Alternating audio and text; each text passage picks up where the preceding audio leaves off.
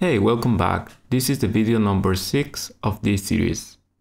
I am here in the middle section working on the support for the mast. I have covered the keel box and glued this piece of wood here as the anchor for the mast. The mast is going to be a piece of wood like this, but longer. This is the part where the motor is going to be. This is are the support. And you can see also here the transmission to the propeller is this tube that goes through the hull. This piece of wood is a support for the rudder steering rod and also the support for the water intake to the cooling system.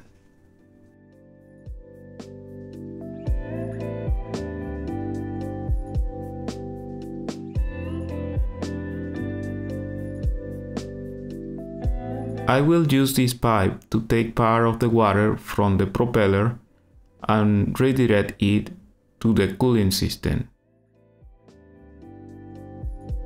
It's going to go through the hood and going to take part of the water from the propeller and the cooling system basically will cool the electronic speed controller and the motor.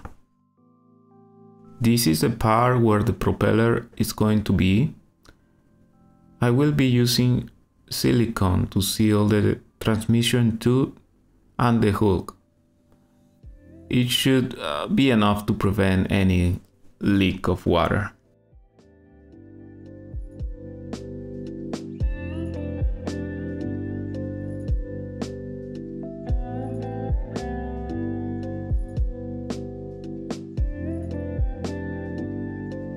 Here I have to test how deep from the hole the cooling tube intake has to be in order to collect water from the propel to the cooling system.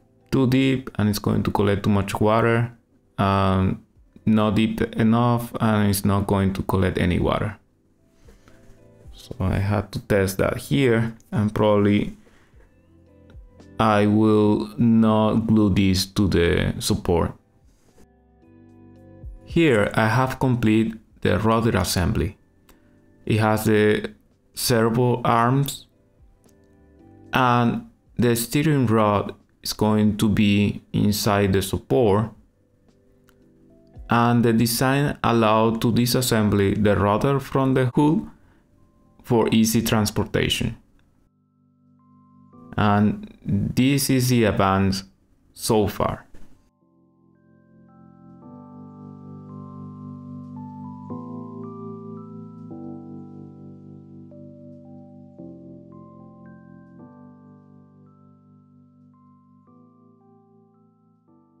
This is the motor that I'm going to use. It's a Turnigy Aquastar water cooler brushless motor. I 3D print the base of the motor. It has the correct angle and also it can be moved back and forth for final adjustments.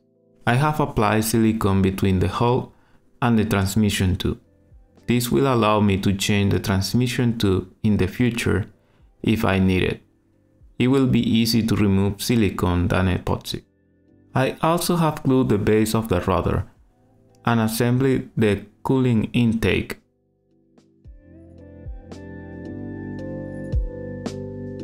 This is the detail of the intake.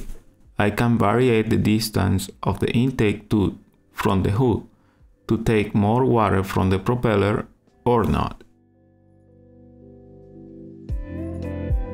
This is the rear part of the rudder support. I did also a parametric design of the propeller using a free FreeCAD software. I have to check that the design of the propeller is going to resist and not fall apart. This is a lot of work and there is a lot more to do, but it's fun for me. I hope that for you also guys.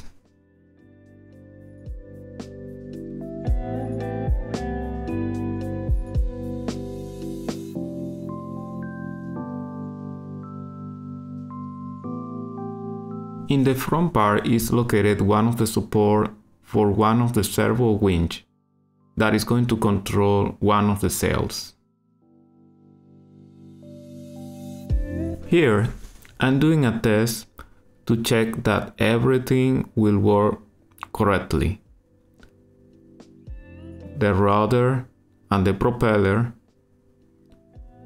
Here, the water intake hose that take the water to the electronic speed controller and then to the motor to cool off those components and then that water has to exit uh, the system through this part here.